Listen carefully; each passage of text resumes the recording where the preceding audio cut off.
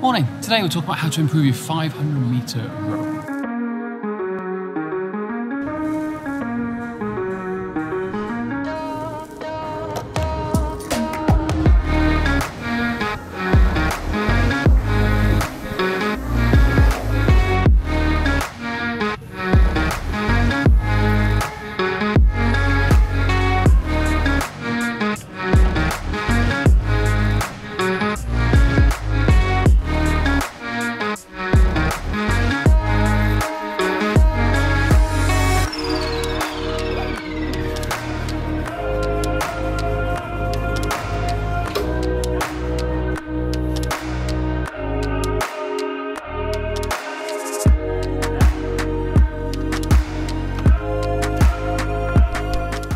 Talk to you a little bit today about how to improve your 500 meter row time. Now I think the rowing erg is one of the most important pieces of equipment you can have in any modern day gym. Alongside the assault bike and also the ski erg, you have those three things together. That's a pretty powerful combination.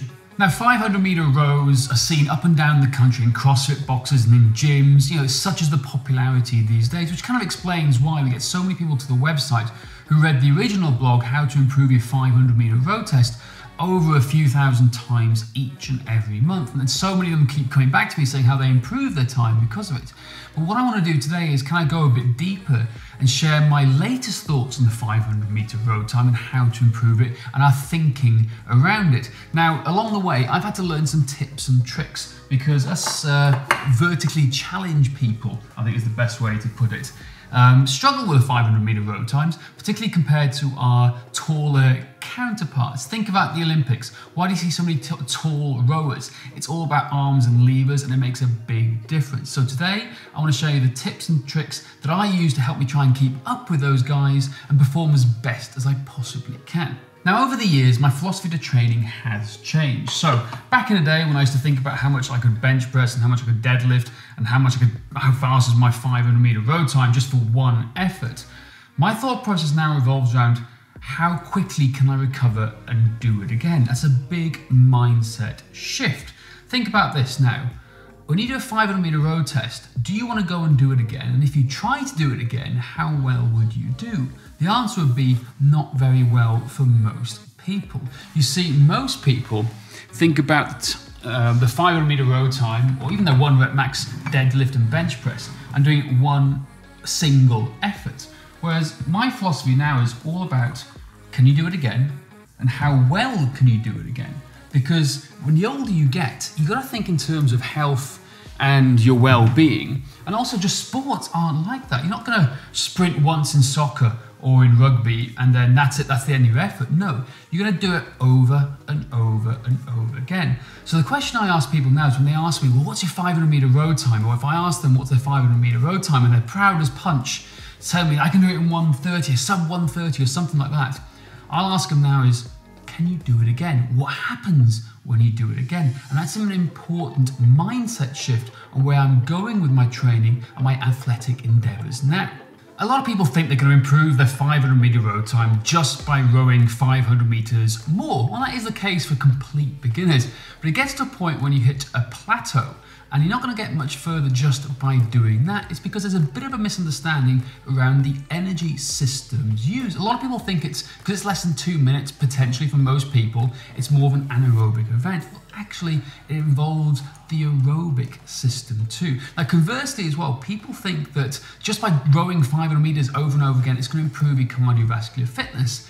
Yes, a little bit if you have zero base to work from to begin with. But again, it's way more complex than that. So for people out there who want to improve their 500 meter road time as one single event, this may not be for you. However, understand the principles behind it to help you recover faster because it may help you get past the tipping point to be able to go deeper into your um, anaerobic system with a stronger aerobic base. So just bear that in mind. So the big mindset shift here is quite literally doing your 500 meter row test twice. That's right, you're gonna row 500 meters, rest for a certain period, and then you're gonna do it again and see how both times compare. And that's the shift I wanna talk about today and how I'd like you to see and how I'd like you to train for it and see what the carryover effect is later down the line to maybe improve that singular time as well. But instead, you can also work on both your aerobic recovery and what I call the aerobic, uh, uh, the aerobic battery.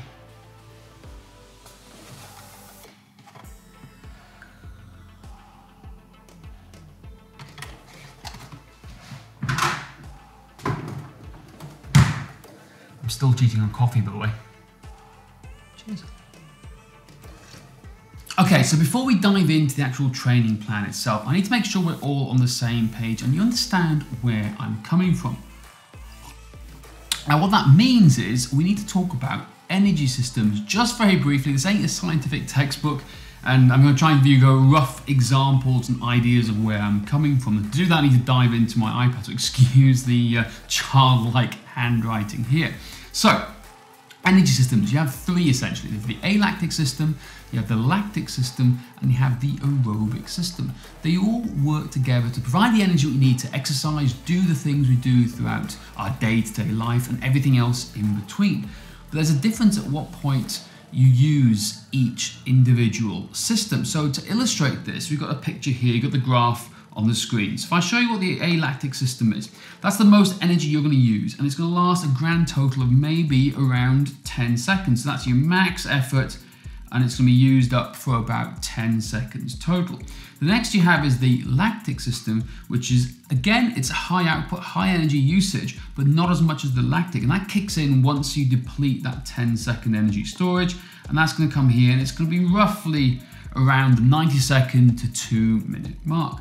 And then you have the aerobic system, which kicks in. That's the least of the energy systems or the least energy used um, of the energy systems. However, it's the one that's going to keep you going over and over and over. That's predominantly the one we use. We're living in the aerobic energy system now, and that's how we move day to day. It produces the energy over and over again, and it's to infinity. From two minutes onwards, roughly, is where it kicks in.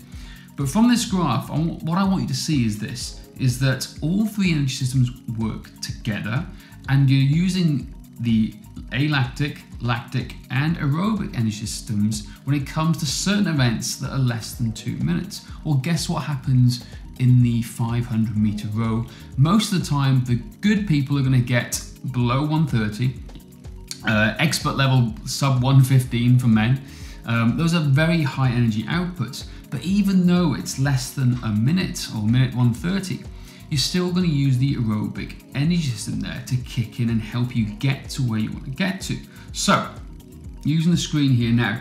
Now, I've looked online to try and find this information about the 500 meter row and I couldn't find it. The nearest examples I could find was the 400 meter and 800 meter example. So bear with me with this. So what we have here now, if I use these as examples, uh, on a 2K row, the big brother of the 500 meter row, and the one test that everyone dreads when they go and do it, and if they've done it before because they know how hard it is. What we know from research is this, is that 80% of the energy systems used, approximately, is aerobic in nature. That's for an event between six to eight minutes, okay? So that's 80% aerobic, 20% anaerobic, okay? That's what we know from that. Now, when it comes to 400 meter runners and 800 meter runners, what we know from that is, is this. 400 meter runner, approximately 57% uh, is anaerobic, and uh, if I can do math, 43% is aerobic in nature. Now, I haven't got the data for the 500 meter road test, but you can assume it's going to be roughly the same. Let's, for argument's sake, say it's 50-50. So you're going to use 50% anaerobic and 50% aerobic. So when it comes to the actual 500 meter road test, what I want you to think about is this. We need to optimize all three energy systems. You can't just focus on the short, sharp stuff to get you through it. No, you need all three and to optimize all three. And that's what I want to make you understand. So when I'm showing you the program now, This is what I'm talking about. How to train around all three to get you your goal of getting faster with a 500 meter row, but also more importantly, build up your aerobic base so you can recover faster and you can go and do it again. Because the aerobic energy system is the key point to help you recover faster. God, my handwriting is awful. What's, what's going on with my hair today? It's all, all, it's all gone to plot today. I have no idea what's going on. Anyway, shameless plug time. Very quickly, if you've read the book Maximum Aerobic Power, you will know you need to earn the right to train anaerobically. Now, what do I mean by that? Well, you need to be strong enough and you need to have a strong aerobic base. Now, I haven't got time, I'm not going to go into all that here right now. I am going to assume that you are strong enough and you have an aerobic base, but just to give you a rough idea, if men, if you can't deadlift one and a half times body weight for five reps and do at least five pull ups, and women, if you can't do the deadlift for 1.25 times body weight and do two pull ups, you're not strong enough yet, maybe, and you need to work on strength first to improve your 500 meter row time.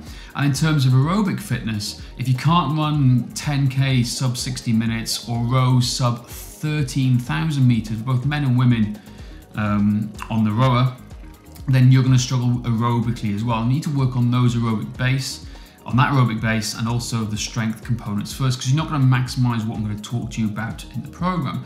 But for the sake of this, I am going to assume that you are strong enough and then you do have some aerobic capacity first, help understand where I'm going to. Because remember, I'm trying to improve your aerobic battery by doing the times and race twice here. Okay, we're doing it this 500 meter row test twice. All right, so here's the program overview. The first thing you're gonna do is you're gonna test. You're gonna do the 500 meter row test twice. Okay, so test is phase one. Second part of the phase, second part of the program, is you're going to work aerobically. You're going to build your aerobic base around the 500 meter test. So aerobic work is the next part we're going to work on. The next phase is going to be anaerobic work.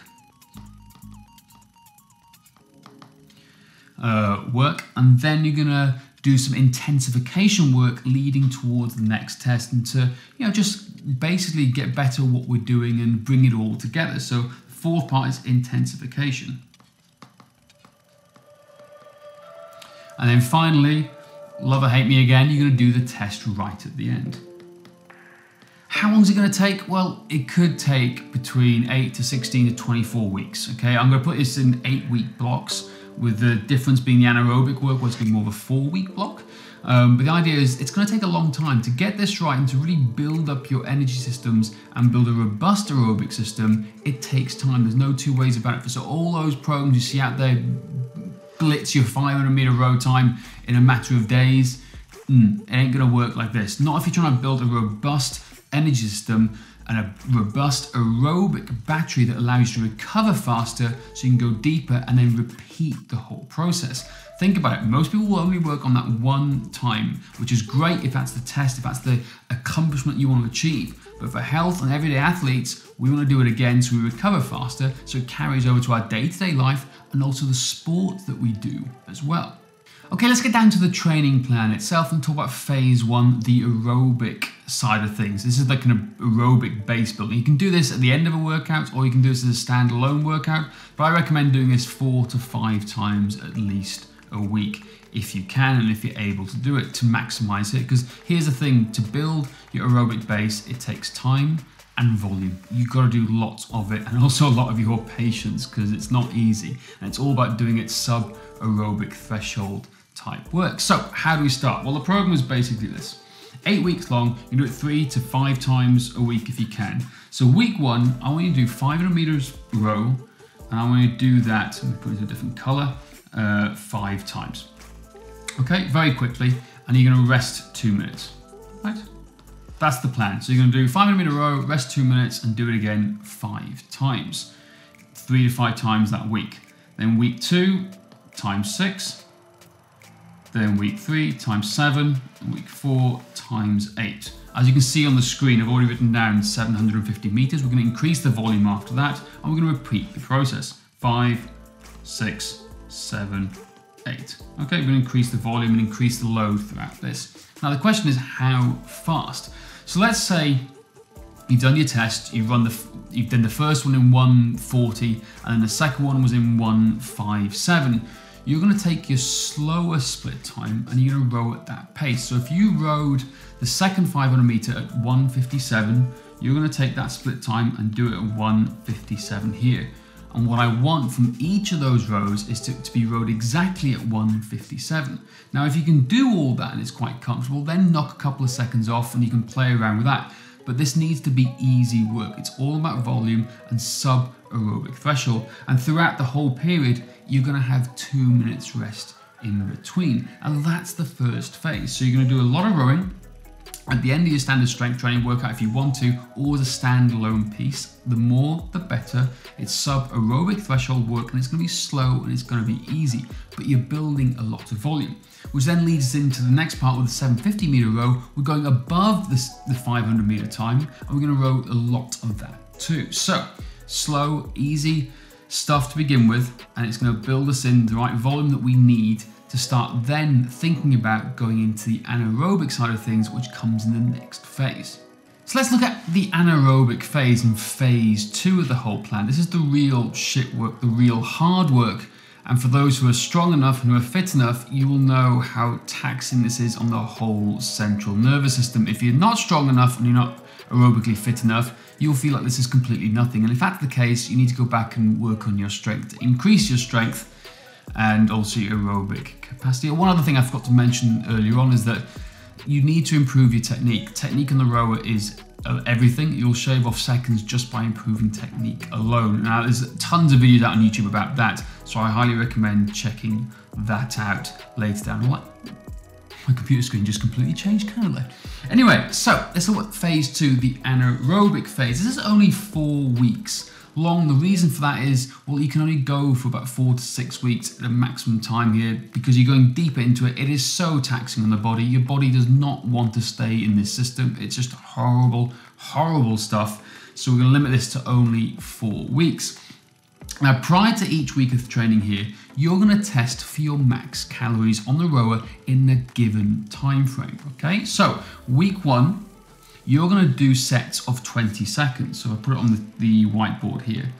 20 seconds is going to be your time. So you're going to do 20 seconds all out for 10 rounds. You're then going to go to 25 seconds in week two, 30 seconds in week three, and 35 seconds in week four. So we're doing a bit of lactic into uh, alactic into lactic stuff. Now, yes, it's beyond the times on the old energy system charts, but the rower takes a while to get going. This is what the times. If you do this on the assault bike, you'd be looking at much less because that gets up to speed that much faster.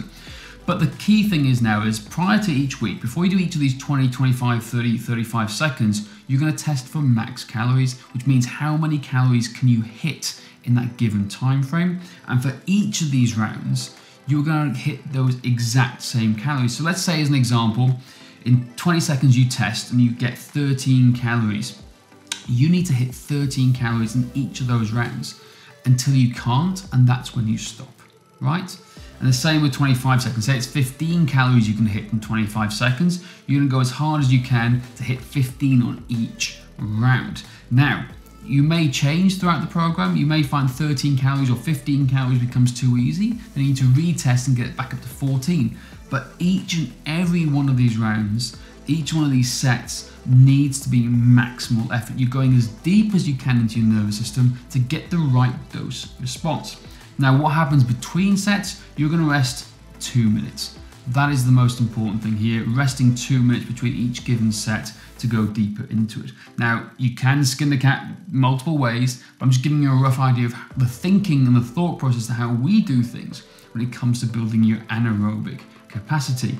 Again, send hate mail to Josh Kennedy. This is a lot harder than it looks. Just make sure you're strong enough and you make sure you have the aerobic base because to do this correctly, you need to be able to recover faster. And that's where the aerobic base comes in. Because if you haven't got the aerobic base, you're going to do one and two of these rounds and you ain't going to get very far with it. Okay, so the last part of the training phase is what we call the intensification phase. And we need to become more race specific or the test specific, which is also going to help with your overall aerobic capacity and recovering better as well. So if we go back to the whiteboard here very, very quickly. So I'm going to do six weeks here. You can do longer, you can do slightly less. Again, it's all comes down to your individual fitness goals and where you're currently sitting. But as a rough idea, this is what we're going to be doing. So over the course of the week, six weeks here, you're going to be doing this again three to four times a week. And you're going to be working at race pace. Okay, so we're going to go back to your original times. Again, let's say you did 140 in the first one and 157 in the second. We did 157 for the first part, rowing aerobically consistently over and over again. This time we're going to choose 140. So I want you to row the 250s, 300s, 350, 400, 450, 500 at this 140 per 500 meter split pace. Okay, that's really important. We're going to work back at the original pacing of what you were doing and we're going to build volume on that. That's what we're trying to do here. So, First and foremost, 250 meters, I'm going to do 10 sets of this very quickly. 10 sets, you're going to do eight sets of 300. 350, you're going to do six. 400, you're going to do five. 450, you're going to do four. And then 300, uh, 500, you're going to do three. That's kind of the phase we're going to work on here. When it comes to rest, we're going to work into a one to one rest ratio. Okay, one to one rest ratio. So if say you do 250 meters in one minute, you're gonna rest one minute and you're gonna go again after that at your race pace. Again, the key is you're not trying to do multiple different paces here. Every single one of your rows should be exactly the same in each week. So what do I mean by that? So say again, you row 250 meters at one minute pace. All 10 sets should be exactly one minute in length and time that you need to complete it. Say 300 takes 110, every single one of those eight sets needs to be in 110. Don't go 1 minute 57 up here. No, that's not working the aerobic system or the energy systems properly or creating a structure to move forward. That's just random shit. Okay? So we need to keep this controlled and build up the volume. And it's called the intensification phases because we're building up the pace and volume around each of these. Now, that's one way to do it. There's multiple other ways to do it, but I'm just giving you a rough idea of how we think about these types of things when we're performing these sorts of uh, rowing programs or aerobic training plans. And I hope it's making sense to you now. So once you've gone through those three training phases, you come back to the final phase, which is testing again, where you're going to hate me again even more for doing this. So remember, we started off by doing the 500 meter row test times two. And we're now going to bookend this by doing it again with that sandwich of training in the middle. Now, hopefully you can hopefully you can see what I've done here now is that we've taken your two times, we've used the times and the split times to calculate your program accordingly. So we've done the aerobic volume by doing your slowest say 500 meters. And then we've trained in the middle, and then we've gone back to your fastest time, and we've created uh, an intensification phase around that time. Now you can go faster, you can go slightly slower if you want to, whatever works best for you, but that's a good idea of how we can calculate the times you need to get to to build volume around the original pace that you did. Now I'm hoping when it comes to the final test, again you're rowing 500 meters, resting for 90 seconds with your feet in the straps and rowing 500 meters again, not only will you have improved your original first time score, but I'd like to think you will have considerably improved upon your two times combined together. Now, I've seen people make 30 to 40 second differences when it comes to this, particularly the beginners. At the elite levels, well, you're going to make smaller differences, but it gives you a rough idea of what we need to do. But also, it highlights the fact that with the 500 meter row time, even though it's such a short piece in the grand scheme of things in the world of rowing, it is 50 50 aerobic and aerobic. So, there you have it for today. I just wanted to give you a rough idea of how we think when we're creating a like a rowing plan and to help you get you on your way with the 500 meter times to improve that time, but also think differently about it and how you can maybe recover faster for your sports and general health too. So don't just think about your rowing times for just one singular piece. If that's the race, absolutely think towards that in that lines. But if your plan is to be better at the WODs you're doing, the CrossFit boxes, or just even general health and other sports you're trying to do, think about the ability to recover faster. That's such a key element and something that's often overlooked. So, what do you think? Give the plan a go. I'd love to hear your feedback. Leave a comment down below as well. Do you disagree with me? If so, great, I want to hear about it. How can we improve these theories and structures? Let's hear about it. Let's see how you get on. What was the best takeaway from today's piece as well. Anyway, I'd love to know. Make sure you subscribe and uh, leave a comment below, like I just said, uh, and press that bell notification. If you love the content we're putting out there, it supports our channel and goes a long way. But I'll be seeing you anyway in the next video.